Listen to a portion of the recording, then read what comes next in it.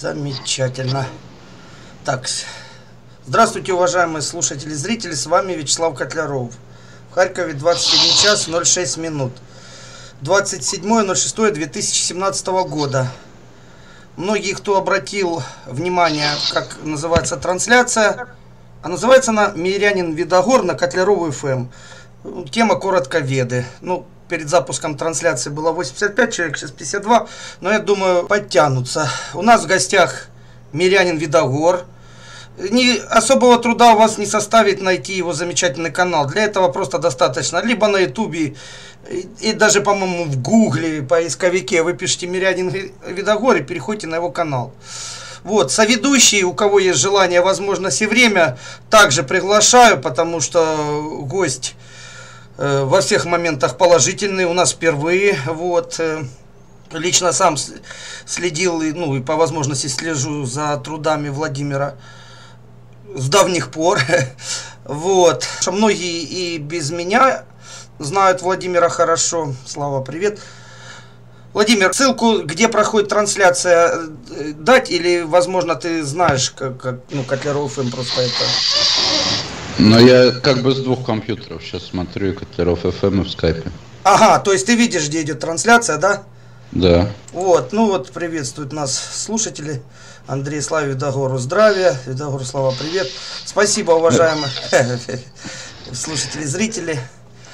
Так, ну, вообще у нас же, как бы, возможно, ты сталкивался, у нас вообще без никакого официоза такие старые добрые каминные посиделки на Котляру ФМ. То есть э, время не лимитировано, то есть э, когда сколько человек хочет, столько вещает, когда хочет, уходит, то есть как бы э, границ нету. А так как по стечению обстоятельств мы сейчас с тобой вдвоем, для тех, кто, допустим, приходит впервые, видит, что у меня есть две иконки в эфире.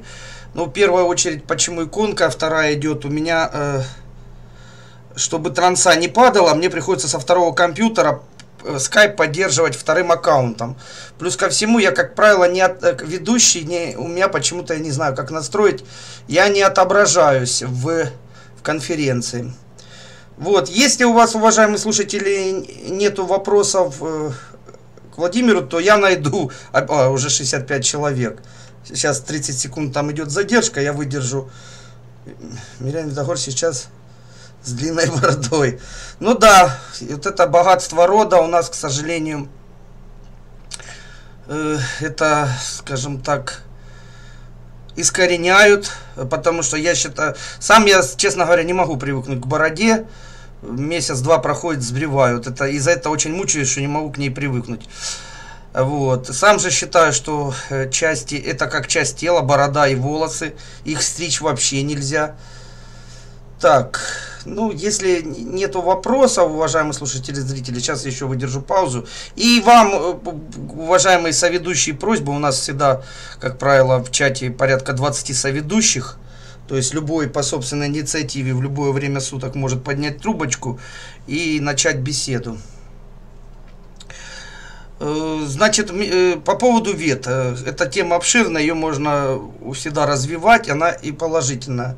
Значит, мне нравится, как есть такое высказывание, забыл фамилия, Леонид Тугутов, по-моему, сказал, что веды это не там, где их хранят. Веды это не там, где о них знают. Веды это там, где им следует. То есть имеется в виду, что веды не принадлежат э, ни, ни конкретно никакому народу. То есть не может быть ни индусских вед, э, там сказать, ни, как там мне недавно писали, башкирские есть веды.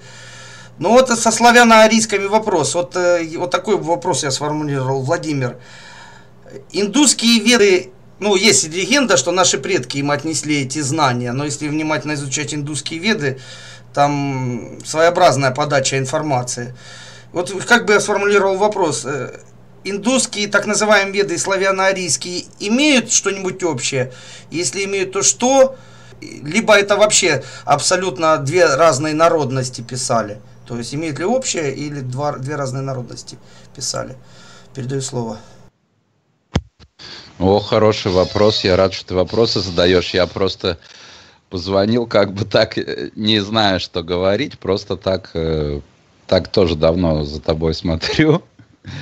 Хотя, ну, там какие-то разногласия, но мне все равно нравится вот твой стиль подачи. И я считаю, все равно даже если меня нормально слышно.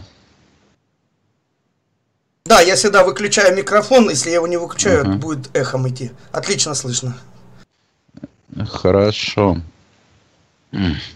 Я считаю, что сейчас э, такое время, что вот именно именно, как бы можно так сказать, видеоблогеры, но не все видеоблогеры, а именно вот те, кто вещает полезные вещи для нас, для вот славян, как ты говоришь, для белорозовых, да, это сейчас, на мой взгляд, для вообще продвижения и себя, и всех в целом, а мы должны в целом продвигаться, не поодиночке, это, ну, как занятие номер один. Потому что нас сейчас мало, нам надо только распространять, распространять, распространять.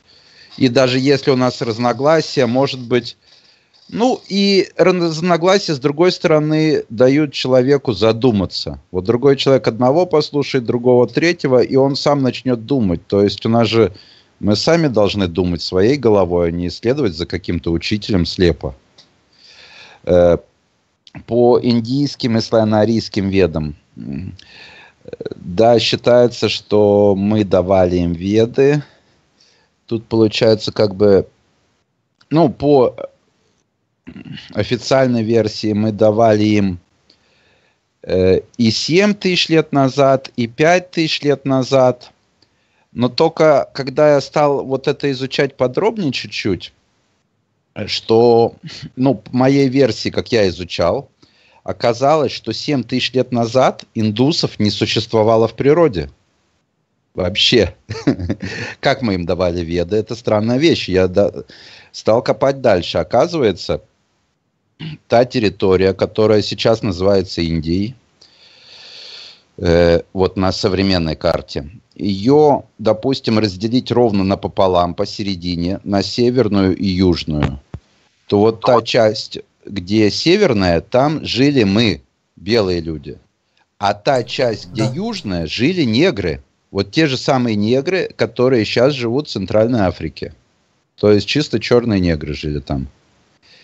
И 7 тысяч лет назад получается, что мы давали вот этим неграм, а индусов еще не существовало пока что.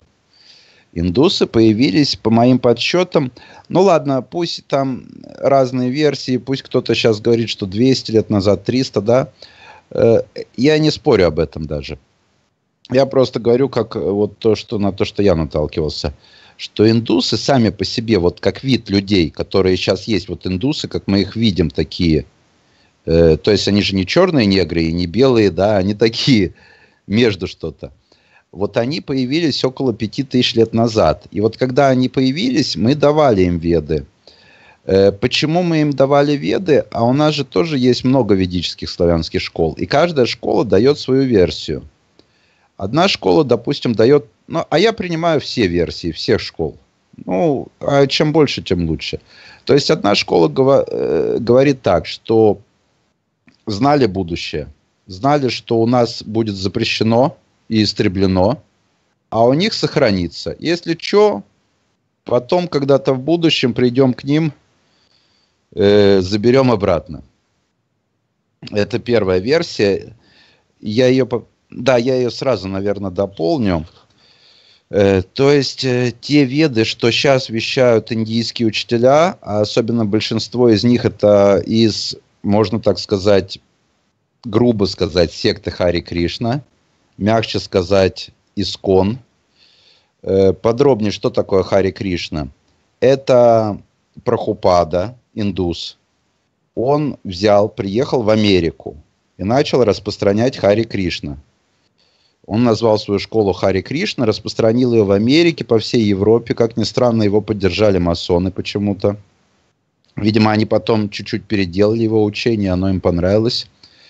Но когда эти богатые европейцы и американцы стали приезжать обратно в Индию, они удивились, что там не в курсе ни про каких Хари Кришна. Но индусы, в принципе, они, вот кто знает цыган, что цыгане это выходцы из Индии, цыгане это и есть индусы. И вы, наверное, заметили, что цыгане, они очень смекалистые. То есть, ну, в чем в чем, а в смекалке им не откажешь. Так вот, индусы смекнули, приезжают какие-то богатые ребята, непонятно откуда, при бабках, из Европы, из Америки, спрашивают про каких-то Хари Кришин. И они думают, да давай мы будем Хари Кришнами и будем их учителями. То есть вот такие сообразительные нашлись, которые стали учителями приезжающих. А Прохупада уже умер к тому времени. То есть вот такая интересная история. Дальше. Э, и э, потом, если мы возьмем, вот обратим внимание как раз на цыган, что это сообразительные ребята. Э, у меня есть такая версия по индийским ведам еще, что действительно им когда-то давали давно. И а вот сегодняшний день, сегодняшний день есть, можно сказать грубо, ну там очень много индийских школ ведических, очень множество. И грубо их можно поделить на две школы. Э, есть закрытые школы, которые никого к себе не пускают. Я не знаю, что они там преподают в этих закрытых школах. Скорее всего, может быть, у них есть какие-то именно жрецы-хранители, которые хранят именно те древние, то, что мы давали, закрытые школы. А есть школы современных выдумщиков в Индии, которые просто выдумывают свои современные версии для того, чтобы разводить лохов, богатеньких иностранцев, приезжих, которые приезжают в Индию искать гуру, и они косят под гуру и начинают им рассказывать. Большинство из этих рассказов, они отрицают сами веды. Они говорят, вот слушай меня, слушай просто вот свое сердце, вот посиди так в небытие, в ничем, медитации там. И, в общем, вешают такую лапшу. Ну, то есть, почему они вешают такую? Потому что у них нет никаких знаний, а как бы и рассказать им нечего.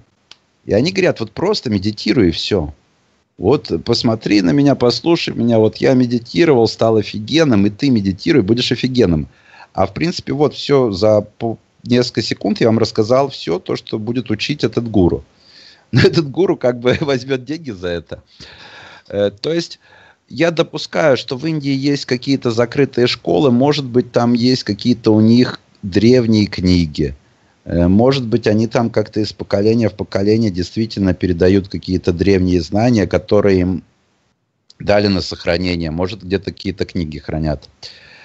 А есть как бы гуру-выдумщики. И еще даже третью версию скажу. Там есть еще э, вот эти, там строгая кастовая система, в отличие от нашей. То есть у нас, если считается, что ну, был человек тружеником, перешел в весе, там, бизнесмены перешел, воины перешел, священнослужители. И это даже хорошо, если человек это сделал за одну жизнь, успел, и потом стал асом и перешел в мир богов. Это хорошо и прекрасно. То у индусов это вообще невозможно по индийским ведам. То есть там кто были твои папа, мама, в какой касте они были, в такой ты должен прожить всю свою жизнь. И почему они это сделали? Потому что если у нас мы все одного вида, то индусы, они э, разного вида люди. То есть там есть конкретно черные негры, э, негры, которые смешаны с индусами, они посветлей. Э, сами индусы, которые еще более посветлей. И есть совсем светлые индусы по коже, которые очень похожи на белых, но за исключением, что у них такие черные пышные волосы, э, ну, немножко глаза темненькие, ну, как бы подсгоревшие немножко. Но вот смотрите, каждый из вас, допустим, смотрел какой-то индийский фильм, и вы видели актеры в главной роли – они почти очень похожи на белых людей. Они такие по коже белые, симпатичные, такие как бы... А есть актеры второго плана, которые там на заднем фоне бегают э, толпой. Вот они почему-то очень темнокожие. А если поехать туда больше вглубь Индии, туда к, к югу Индии, то там совсем темнокожие живут. И получается, что индусы, взяв наши веды, вот конкретно их брахманы, они понимали, что скрещиваться нельзя. Если уже вот какой-то вид людей получился при скрещивании, ладно, он получился, то чтобы он выжил, ему дальше точно нельзя скрещиваться.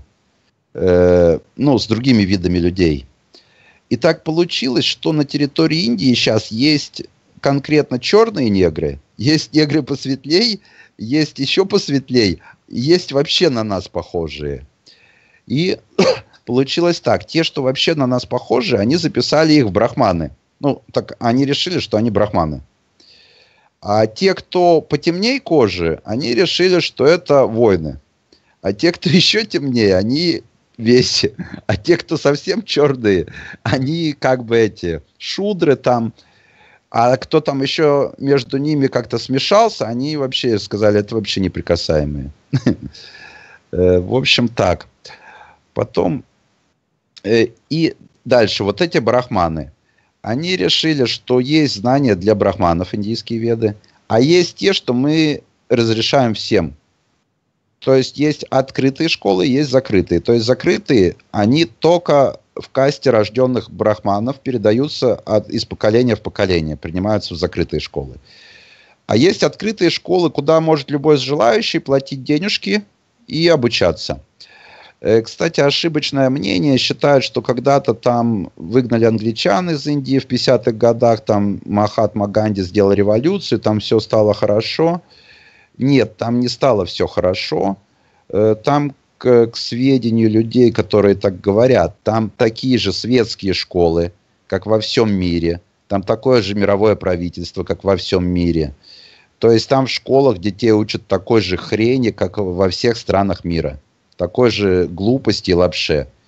А э, единственная разница с нами и с другими, ну, с нами, по крайней мере, что там веды не запрещены. И эти брахманы открывают отдельно свои школы, ну, как бы они платные, ну, как частные школы.